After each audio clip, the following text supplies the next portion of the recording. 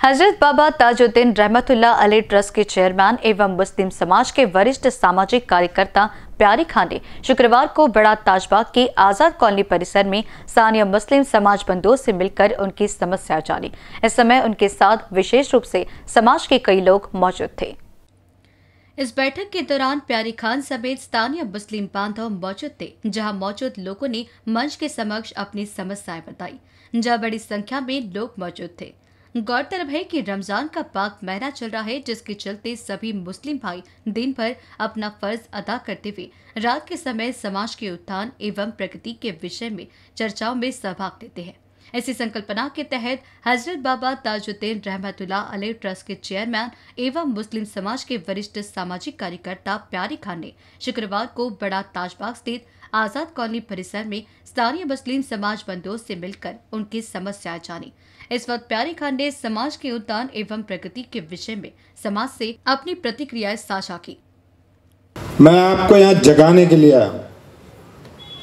मैं आपको बताने के लिए आया कि आपके पास बार्गेनिंग का कितना बड़ा पावर है? जिस समाज के दो परसेंट लोग होते जिस समाज के दो परसेंट लोग होते वहाँ पे सीएम पीएम खासदार, आमदार एमएलए महापौर, राज्यपाल, सब कुछ, सब कोई जाते हैं। लेकिन हमारे पास कोई नहीं आता। क्या कभी इस पे किसी ने सोचा है? कभी सोचा है? हमारे पास कोई नहीं आता। आप अगर बोलोगे कि कांग्रेस को मारना मैं वहाँ पे भी मार दूँगा। आप अगर बोलोगे राका को मारना मैं वहाँ पे भी मार दूँगा। आप बोलोगे शिवसेना को भी मारना मैं वहाँ पे भी मार दूँगा। लेकिन इसकी गारंटी कौन लेगा कि मेरे समाज को वो क्या देगा? है कोई गारंटी लेने वाला? तो हम क्यों वोट ऐसे मार देते हैं? बिना कुछ मांगे, बिना कुछ किए। गडकरी साहब मेरे से एक सवाल बार बार करते हैं। क्या तेरे समाज के बच्चों ने ऑटो चलाने का ठेका लेके रखा है? कबाड़ी की दुकान का ठेका लेके रखा है? चाय के होटल का ठेका लेके रखा है? पान के ठेले का ठेका लेके रखा है। स्कूटर के गैरेज का ठेका लेके रखा है। क्या तेरे समाज के बच्चे डॉक्टर नहीं बन सकते? अच्छे इंजीनियर नहीं बन सकते? अच्छे बिजनेसमैन नहीं बन सकते? अच्छे प्लेयर नहीं बन सकते? तो दोस्तों, इसमें गलती किसकी है?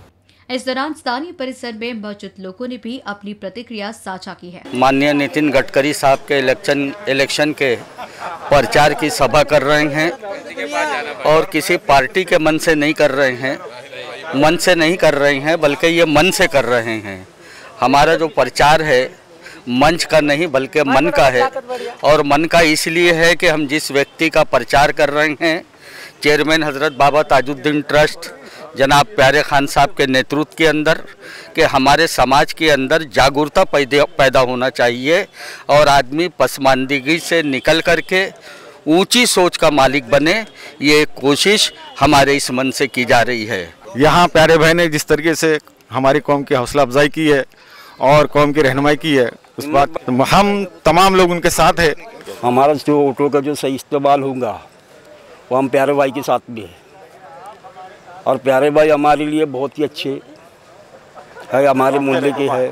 हर बार मुस्लिम समाज कांग्रेस से जुड़ा रहा देश की भलाई और तरक्की के साथ रहा है। लेकिन उनके साथ रहते रहते उन्होंने हमारे ऐसे हालात कर दिए कि हमको ऑटो रिक्शा साइकिल ये सब सुधारने पे मजबूर कर दिए। जब भी हमारा आज 1945 से लेके 1945 में आप देखेंगे तो हायर एजुकेशन मुस्लिम्स का था। लेकिन अभी ऐसे हालत है कि मुस्लिम के जो बच्चे बेचारे ऑटो चला रहे हैं, कोई होटल चला रहे हैं, बड़ी पसमानदी ज़िंदगी में अपनी ज़िंदगी बसर कर रहे हैं। तो ये सब चीज़ें कांग्रेस ने दी और जो रहा कांग्रेस के जो भी लोग रहे, राहुल जी हो गया, ये दूसरे भी लोग हैं, उन्होंने आए, मुस्लिम बहुल में आए, मुसलमानों को वर्गलाए, बहलाए, फुसलाए, उनसे वोट लिए, लेकिन उनका कोई काम नहीं किया। ना उन्होंने कोई लीडर पैदा किया अभी तक। और जितने भी मुस्लिम के जो लीडर्स पैदा हुए हैं, ये उप राजधानी है नागपुर। वफ मिनिस्टर कितने सारे मुस्लिम्स आए, कोई डेवलपमेंट नहीं किए। एक वफ मिनिस्टर तो ऐसे आए कि उन्होंने जो वफ की लैंड थी, वही लेके भाग गए। फिर हम लोगों ने कांग्रेस में रहते हुए फिर आंदोलन करे उनके लिए, उनके अगेंस्ट में आंदोलन करना पड़ा हमने कांग्रेस के लोगों के अगेंस्ट में, कांग्रेसियों ने आंदोलन करे कि वो मस्जिद की जो लैंड थी वो वापस करे करके। तो ये सब चीज़ें कांग्रेस के आला कमान भी कोई देखता नहीं है, अंधे जैसे चलते हैं, राजकुमार जैसे, और मुसलमानों की बहुत बुरी हाल है, और ऐसी हालत रहे तो हम लोग बिल्कुल ख़त्म हो जाएँगे देश से। कैमरा पर्सन राजकुमार मोहड़ के साथ अभिषेक पांसी की रिपोर्ट।